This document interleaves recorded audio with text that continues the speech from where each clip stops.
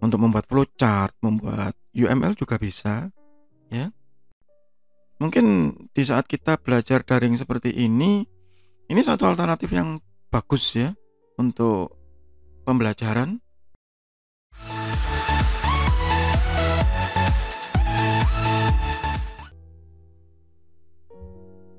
Assalamualaikum warahmatullahi wabarakatuh.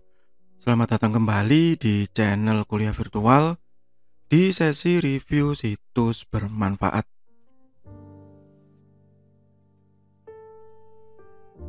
Kali ini saya membahas mengenai satu website untuk membuat diagram. Beberapa macam diagram ya, meskipun tidak selengkap Visio misalnya, tetapi ini sangat membantu. Ya, biasanya untuk teman-teman yang apa di semester awal ya, pemrograman begitu atau Anda para pengajar dosen ataupun guru misalnya guru SMK gitu yang mengajarkan mengenai algoritma untuk membuat flowchart, membuat UML juga bisa ya. Dan online karena ini website ya, situs ya.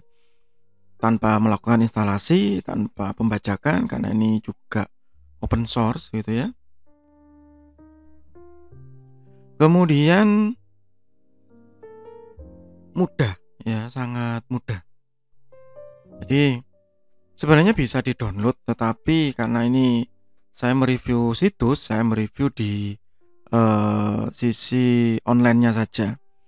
Dan seperti biasa saya lebih prefer atau lebih senang memilih website yang melakukan hal-hal tertentu seperti ini tanpa ada registrasi atau sign up meskipun biasanya kalau kita melakukan sign up itu lebih bagus ya, lebih bagus hasilnya. Nah, di website ini di diagrams.net ini pada saat kita melakukan klik start begitu, maka kita akan langsung diberikan pilihan. Nanti kalau sudah selesai diagramnya hasil dari pekerjaan kita itu mau disimpan di mana? mau di Google Drive, mau di OneDrive. Ini kalau yang kampus atau sekolahnya sudah berlangganan OneDrive khususnya, atau di download, atau dimasukkan ke Dropbox, atau mau diintegrasikan ke GitHub atau GitLab. Ya, nah, yang saya suka sebenarnya karena website ini tidak memaksa, jadi ya udah nanti saja, ya Nanti saya mau nyimpen di mana terserah. Ya sebagai informasi kalau Anda menyimpan di Google Drive atau OneDrive, maka dia akan memaksa kita untuk login ke akun kita, kemudian memaksa kita untuk uh, memberikan permission, ya allow permission begitu. Ya, itu untuk uh, penyimpanan ya. Ya bagi Anda yang merasa khawatir ya biarkan aja terlebih dulu.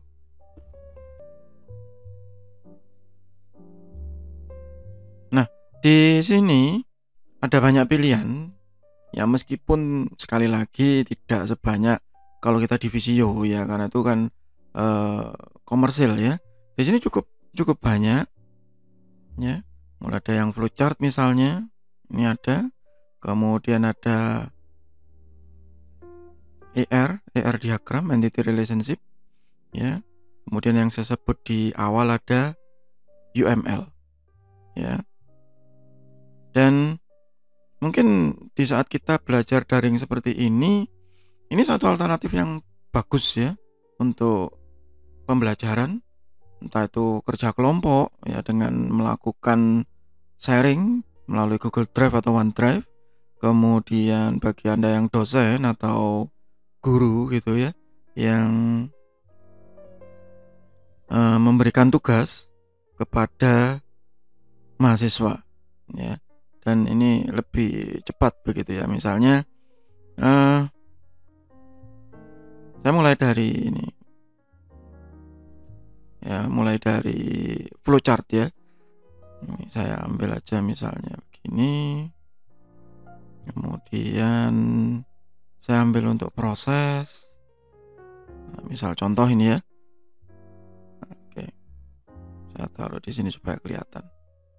Gini kemudian terserah mau menggunakan yang seperti apa. Ini yang ada annotation. Begitu. Ya di sini juga kita bisa membuat uh, apa? Free ya freestyle. Gitu. Ini konektornya. Straight ya. Mau dibelok-belokkan begitu. Ya. Ini connectionnya. Ya. Mudah dan ya lumayan presisi. Sangat. Sangat menyenangkan bagi saya kalau misalnya Anda memang tidak memiliki uh, apa ya tidak memiliki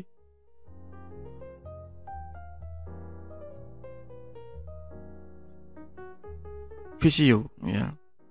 Begitu color juga ada gitu ya.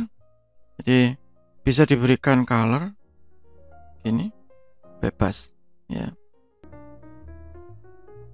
Dia juga memiliki nah ini share jika kita menggunakan Google Drive dan OneDrive.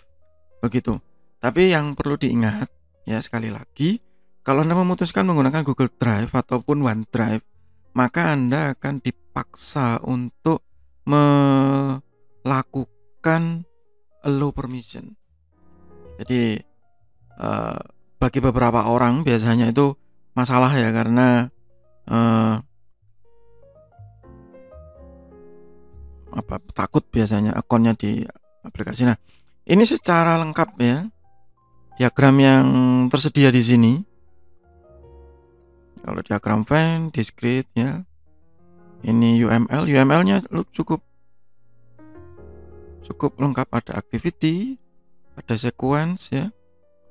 Lumayan bisa jadi alternatif.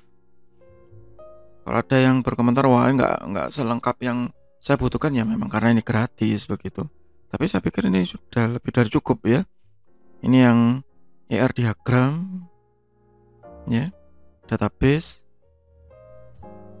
ada banyak ini ada fisikal ada konseptual ada semua ya kemudian ini gancar juga ada ini yang saya suka gitu ya jadi nggak nggak usah terlalu ribet gitu ya untuk membuat gancar bisa begitu ya.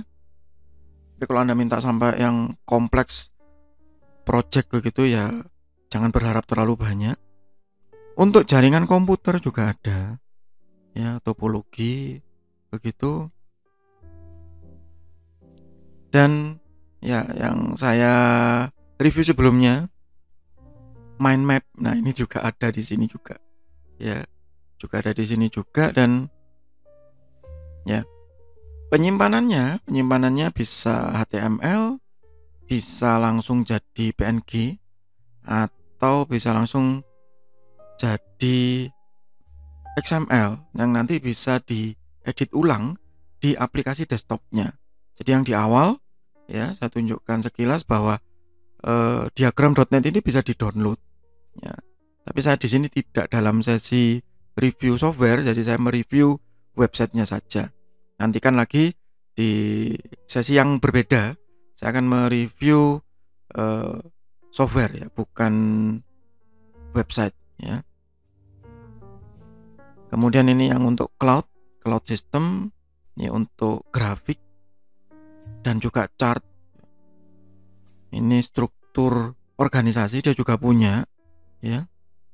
Kemudian ini yang nah ini yang saya biasanya gunakan ya fishbone ya tulang ikan. Ini juga sangat sangat membantu ya seperti ini. Itu eh, sekilas tentang diagram.net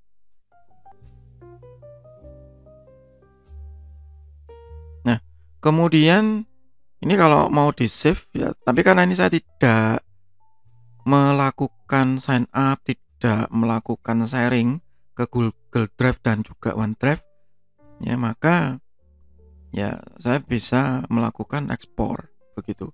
Saya bisa melakukan ekspor tadi yang seperti sudah disebutkan, mau gambar, PDF gitu ya. Ini Visio gitu.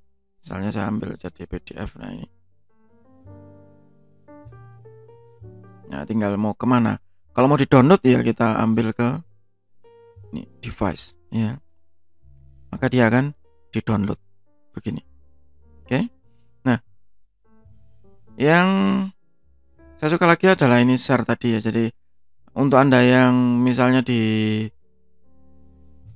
perkuliahan atau di sekolah SMK biasanya itu yang membuat seperti ini dan menggunakan Google Classroom ini bisa diintegrasikan. Anda yang menggunakan OneDrive bisa diintegrasikan juga begitu. Kalau yang lain menu-menu lain standarnya sangat standar. Begitu. Oh ya, sebagai informasi, saya membuka website ini dengan menggunakan Firefox dan lancar seperti Anda lihat ini. Tapi Anda juga bisa menggunakan yang lain yang saya sudah coba Chrome ya. Kalau yang lain saya belum. Opera gitu ataupun Safari. Mungkin nanti Anda bisa coba bisa komen di bawah. Ya, tapi saya pikir sama ya karena dia hanya uh, menggunakan basis JavaScript saja ini di sininya. Oke. Itu untuk sementara di sesi review situs bermanfaat. Ya bisa dimanfaatkan, bisa diambil dan seperti biasa yang saya suka di sini tidak ada iklan dan tidak dipaksa untuk melakukan registrasi. Begitu. Semoga bermanfaat. Tetap sehat, tetap semangat. Wassalamualaikum warahmatullahi wabarakatuh.